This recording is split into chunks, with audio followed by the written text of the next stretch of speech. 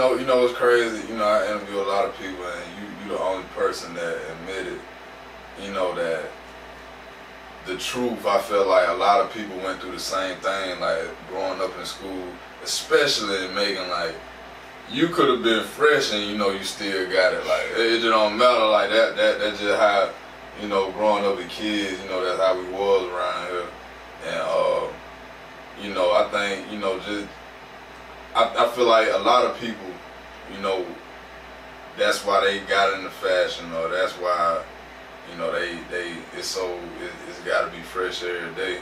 You know, I'm not from Macon either, so like, you know, I, I never really understood that, and I don't care what people think no way, but like, you know, I, I noticed that like that that's that's definitely a thing in Macon. You know what I'm saying? A lot of people probably won't admit, but you know, with you meaning right there, you know, that that says a lot. Yeah, man. It's and you know I I was like I feel like kids were cruel, but they were ooh. They gave me hell, but I ain't even lie to you. Like, yeah. I used to have the strawberries. yeah. You know what I'm saying? Uh, you it know, was a thing. It was a thing, man. Thing. You know, and it just it made me really appreciate when I did get those things. Like, you know, when I got my fair pair of Jordans, you know, it just I really valued them. Yeah. You know, I got my polo shirt. I really valued those things. Yeah, facts, facts. Yeah. So, talk about like you know uh, coming up in school around here. Like you know how how did people you know look at Craig you know uh, as a student?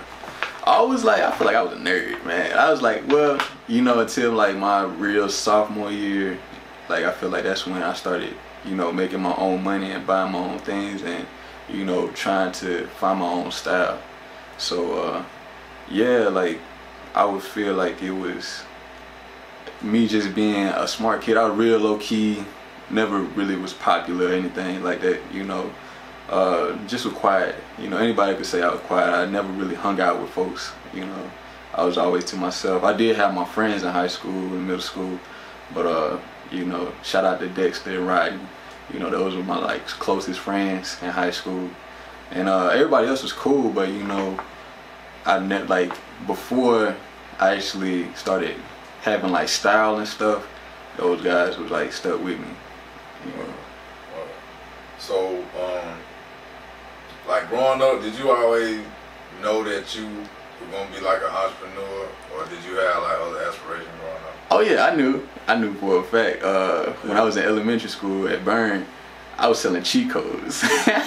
like I was literally selling cheat codes. Like gang cheat codes. Gang cheat codes, right? Okay. To folks for like ten cent a page, man. You know, that was different, bro. I knew it. I felt it in my heart because uh, I was, I was always a little kid that saved money, saved every penny that I had, man. Like uh, I would be like eight years old with about seventy five dollars. You know, that's a lot for an eight year old, bro. Yeah. You know what I'm saying? And you know, just saving money. You know, buying like holding off on things, knowing things I ain't gotta have, you know, being patient. Yeah. And that's one thing that, you know, I really learned as a kid. So Where, where, where did you get that inspiration, that business in from? Oh my dad. My dad, he he instilled money, like the the training of money and how to use it, how to save it, all that with me. Uh credit, uh, you know, savings accounts, all that, my dad. Big shout out to him. Yeah, shout out to dad, shout out to dad. Um, well, talk about like you know, uh, you know, going through high school and that transition of where you uh, were talking about uh, going to Metro. And, Yeah. Uh, I actually like when when we graduated high school, I literally didn't know what college I was gonna go to, man. Cause like, you know, I just knew that I wasn't gonna be able to afford it, you know. And I know I didn't want to have my parents, you know, take out no loan just to put me through school, and I didn't want to take out no loan because I knew I wasn't gonna pay it back. yeah. So, uh, you know, stuff like that. I really had to think down and be realistic after high school, man, because uh, I was working at a retirement home, like Carlisle Place, hmm you know, and that's when I was like, okay, I really gotta make something of myself, because, you know, I can't really rely on school. You know, I knew, like, ideally, I wanted to get a degree, because at first, uh, the real dream that I did have was to be a knee surgeon.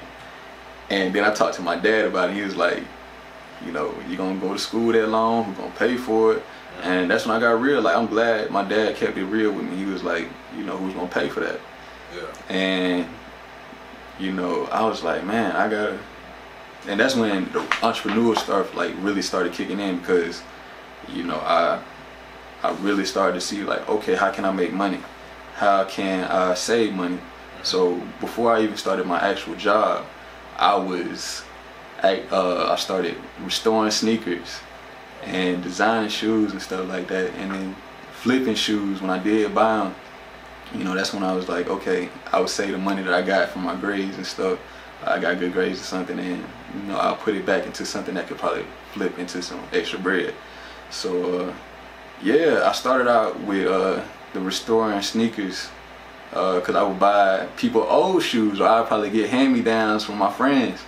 And you know, shout out to Devonte, uh, Devonte Smith. He sold me his uh, Aqua Eights, and they was beat up. He told me he was working out in the shoes. Yeah.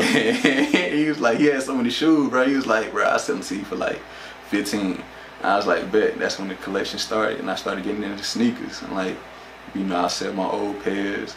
Uh, he sold me a pair of Cherry 13s, and it went on from there. And I just started like restoring more shoes, and I saved up that money to buy extra shoes. So yeah, and then flip those.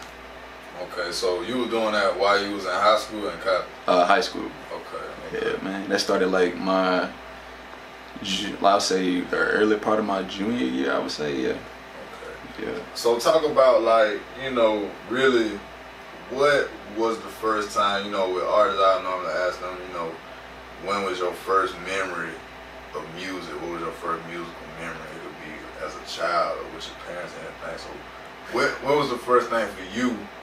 that you noticed, like, you know, besides getting roasted in, in, school and stuff like that, that, you know, like, this is fashion. You know what mm. I mean? Mm. Like, That's when I, like, 2008, you know, when, uh, when I was listening to 808s and Heartbreak by uh, Kanye West, bro. And, you know, listening to him talk about, like, just clothes and, like, going to Paris and stuff, I'm like, I was like, man. Then I started really studying his style you know, this man was wearing like all this designer stuff, but he was wearing stuff that people was like, man, he weird. What he what is he wearing? You know, I was like, wow, this he being himself. He ain't really following no trends. And I was like, okay, that's that's something I would want to aspire to be, like somebody that create trends. Not even create trends, but just like create a own style, yeah. like be authentic. Yeah. You know, so I learned that from him. And uh, I mean, as a kid, I would listen to like music with my dad but my brother, he really put me on to so many genres of music. Uh, big shout out to him. Like when it came to Jimi Hendrix, Thom Yorke, you know, Radiohead, stuff like that.